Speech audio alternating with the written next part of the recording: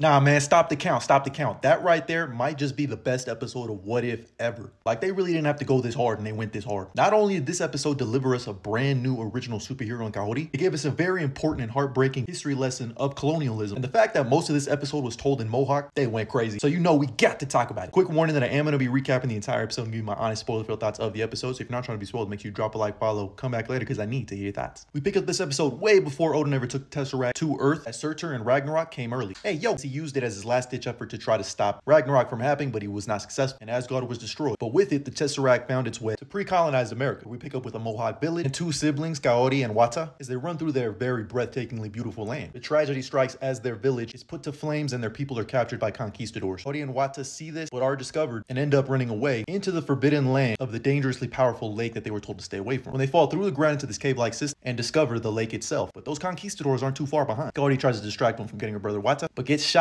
in the process and falls into the lake, which of course contains the Tesseract. She gets transported to this beautiful land where she's greeted by this young man who says, welcome to the sky world. As she wakes up from what she probably thinks is a fever dream, she's in a familiar place, but not quite. These shots are so beautiful. Turns out that young man's name is Atarax, as the Watcher explains that this is a people of Kahhori's ancestors that fell into the lake and were gifted space stone powers. And I mean, can we just look at this shot? Come on. When she discovers her way out is through that portal in the sky. Back with her people, this man's trying to find the lake. Turns out that it's the Fountain of Youth. As he's about to kill one of them, his people come back with Wata, as they tell him that they found it. Meanwhile, Kahhori is trying to do everything in her power to get up out of there. Atarax tells her like it's impossible, like people have tried before. So she becomes one with people and tries to learn the sky people's way. They go on a hunt for a jewel-like fruit, and Kahhori's like, why do we need to hunt for fruit? Yeah, because it's fruit on the back of some giant-ass buffalo. But turns out they can all run super fast with these space stone powers, and their goal is to jump on the back of these giant buffaloes and steal the space stone fruit. Kahhori accidentally pulls a flash and it's like and surpasses the buffalo. Out of necessity, she pulls one up into the sky, but is able to get more fruit than everybody else. As she comes back to her village with all this fruit, and oh my goodness, look at this shot. Back at the Fountain of Youth, Gonzalo tells all of his Spanish soldiers to get up in there. As they slowly start getting sucked in one by one, Gonzalo is terrified. He's like, fuck this, let's go back to Spain and, and take the village people back with us. The soldiers do get transported into the land when they notice some celebration. Of course, Kahhori and the Sky people are celebrating their wins. As they begin to shoot at them, Kahhori stops the bullets with their newfound powers and says, get over here to them. And she notices her brother's necklace, takes it, and she begins to get super angry at not only the conquistadors, but the Sky people for hiding away and not helping out her people sooner. They had all this power and they did nothing about it. And through this, she gained so much power. It says, if I can't get through the portal, I'm going to bring the portal to us. And we get another sick ass shot. This. She begins to plead with the Sky people to come help her save her people. But they're all hesitant. They're not warriors. They don't want to do war. Kahhori goes by herself and discovers that her village has been basically ravaged, burned down, and all of her people are gone. They're taking them to Spain. Truly heartbreaking stuff. But not until Kahhori shows up, they begin to fire at. But she begins mopping the sand with them until they start shooting cannonballs at her. And it's a, too much at one point. She gets hit in the face and Gonzalo's about to kill her. She looks like she's defeated. But Gonzalo looks up and smack, Sky people begin to help. As Atarax tells Kahhori that she was right. Everything she said was true. And they begin to help her. Kahhori buries Gonzalo into the damn sand. Shot is tough. As she gets to the boat where her family is, frees her brother and gives him back his necklace. She successfully liberated her people and stopped the Spanish conquistadors. But she knows this won't end here. To go back to Spain with the queen basically furious, like, who did this? Who did this? As boom, a portal shows up. The queen's like, what the hell? And Gaudie's over here speaking Spanish. She's like, look, I'm here to stand on business. You asked who did this? I did. But it's really just asking for a peace treaty. Like, the land is not yours or mine for the taking. Of course, the queen is pissed off. So, you know, you got to shake someone a little bit to get them sense into him. But then out of nowhere, another portal shows up and it's Strange Supreme saying that he's been looking for Kahhori for a very long time. Look, man, I don't know about you, but I thought this episode went crazy. Not only is it one of the most visually stunning what if episodes I've ever seen, it gave us a history lesson on the dangers of colonialism, how that actually went down back in the day, and how sticking with your people and choosing them over yourself brings glory. But let me know your thoughts down in the comments below, and as always, like and follow for more.